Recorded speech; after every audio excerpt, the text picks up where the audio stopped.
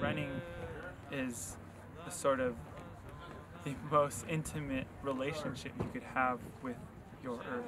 You can't do that when you're in a car driving. It just becomes you and the earth. It becomes a sort of nakedness where you can connect.